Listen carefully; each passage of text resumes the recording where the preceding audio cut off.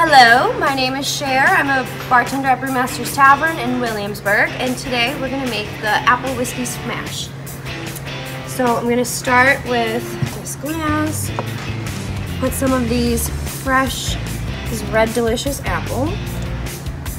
Usually do like two spoons of that, and one and a half ounces of Jim Beam apple bourbon.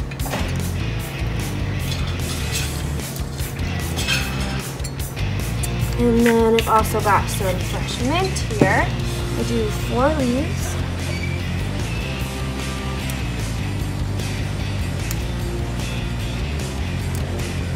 And now I have to muddle it.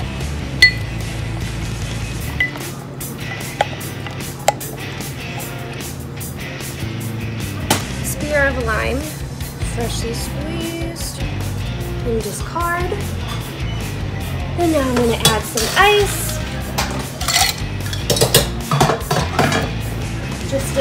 Splash of apple cider. This is local. And then shake this.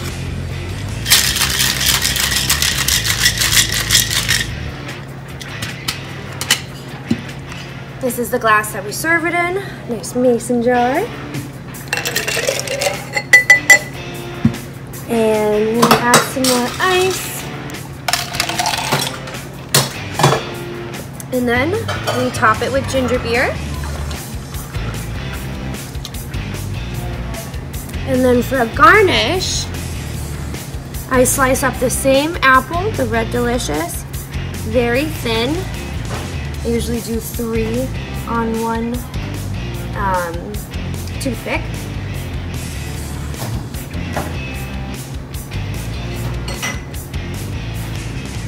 Add a little sprig of mint to make it look pretty.